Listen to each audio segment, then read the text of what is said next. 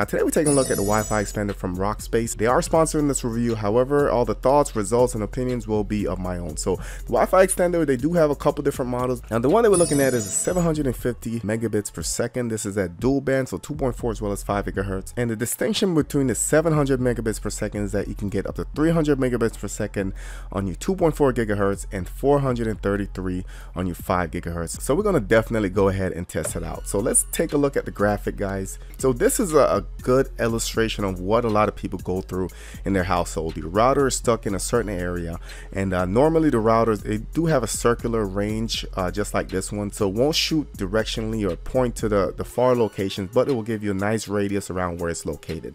Now, what you want to do with a Wi-Fi extender, you want to place it in the middle. So somewhere right here where you can still get good signal to your router and then you can extend it onto the rest of your household. So that's exactly what I'm going to do today. But first, let's go ahead and take a look at the contents of the box.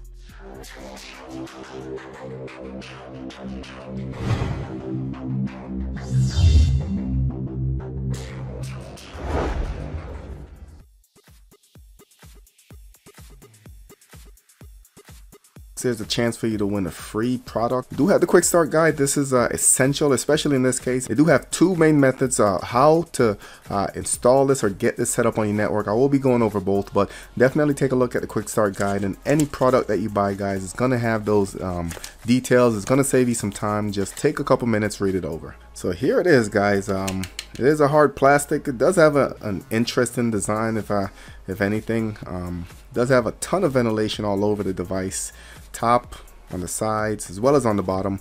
On the bottom, we do have an ethernet port, and we also do have a reset button. Do have the two antennas in the front, flip up. They maxed out about that angle, so they can't go any farther back.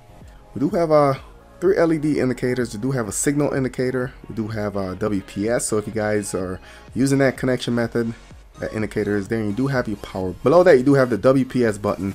And um, on most routers what you're going to do is just press WPS here. Then you press WPS on the router. And that should allow you to connect. Not the most secure method to uh, connecting your device but that is an option. So this does have a, another setup where you can do it via your mobile device. And I will be covering that as well and on the back you do have your power plug standard US and just plug it in directly into the wall. Now, as I said before, there are two basic methods to connect to this Wi-Fi extender. The first one is to use a WPS function. This is a lot easier, a lot simpler, and most of you guys might choose to go that route. So to connect via WPS, your router has to have the WPS button or function on it. So you'll go to your router, press your WPS button, then you come back to this device, press the WPS, it will start flashing like it's doing now and in a couple seconds it will connect. Now if you take this route you will have the same name in your network, the passwords will be the same and all you have to do is just find the right location and you're good to go. Now another way to set up is to use your mobile device. First thing you want to do on your mobile device, go to your cellular data. You want to go ahead and turn that off. Once you turn it off, you're going to go to your Wi-Fi. You're going to look for the Rockspace extender. So click on it all right, it's going to connect. It's going to tell you it's unsecured. So once that's clicked, we're going to go to our web browser and we're going to put in this IP address. It's going to be 192 168 0254. So right now you're going to create a login password. It's going to say for the security of your network, you are recommended to set a login password. This password is used later on in the login. So let me go ahead and set one. Go to next. All right, so select the Wi-Fi network that you want to extend. I'm gonna extend Mojo, enter the password for Mojo, and you can go ahead and choose your SSID or the name of your network. So I'm just gonna leave it as is. That will make it easier for me to recognize that I am connected to this network. So I'm just gonna extend Mojo. And right now, extended successfully, Mojo as well as Mojo 5G. So it's taking care of both networks guys, the 2.4 as well as the 5 gigahertz. Also gives you some instruction, move the router halfway between your Wi-Fi router and the dead zone, which we already covered. Use the signal LED to help you relocate the repeater. So saying that blue is proper position, so you have good signal if it's blue, which I do have right there. If it's red, that means that the repeater needs to move closer to your router. If it's gray or off, move the repeater closer to the Wi-Fi router as well. So first thing we're going to do is do a couple speed tests, then we're going to connect to the Rockspace and see if it improves my speeds.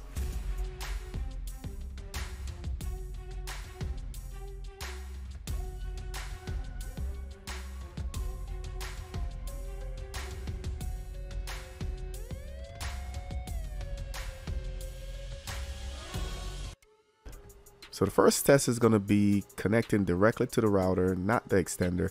Uh, what I um, want to do is just get a baseline of what speeds I'm getting in the best case scenario. So I am paying for 100 megabits per second download, about 10 megabits per second upload.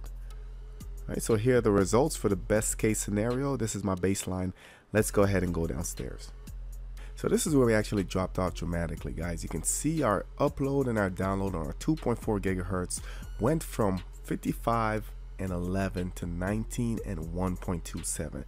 Now 5 gigahertz did suffer as well. As you can see, we went from 117 all the way to 58 on the download and from 11.8 to 7.7 on the upload. So the next test is essentially going to determine if this is worth it. So we're going to go ahead and swap over to the Wi-Fi extender and our goal here is to get better results than we did in the dead spots. The results are in guys and as you can see we did get a lot more speed than we did on the second test in the dead zone. So on the 2.4 gigahertz we jumped back up to 55 on the download and 11.6 on the upload. Now that's comparable to what we seen in the original baseline test which we were standing right next to the router so very very impressed with that result. Also with the 5 gigahertz we did have uh, equally impressive results went back to 106 download and 11.7 on the upload. So overall, what I would say is that this definitely does work. It does take some trial and error and placement. Make sure you place it in a good area. Just teeter on that line where it's in enough range to your main router and it's enough to spread to those dead zones in your house so i will be leaving an amazon link where you can go ahead and pick this up as well as the model that's 1200 megabits per second if you guys have any questions about this just drop it in the comment section below as always don't forget to like share and subscribe hit that thumbs up on this video thank you guys for watching and i'll catch you on the next one